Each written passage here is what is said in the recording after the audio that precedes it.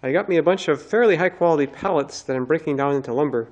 These used to hold large propane tanks.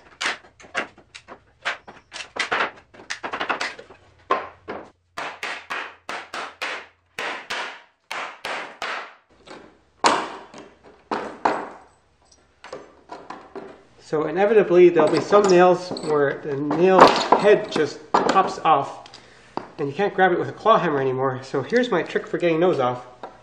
You put a vice grip on it real tight and then put the claw hammer under that and out it comes.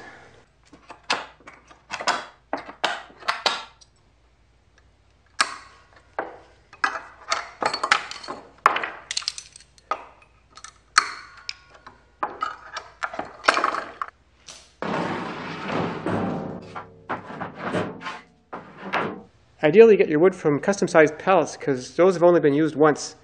Standard pallets get used over and over until they fall apart, and you really don't want those.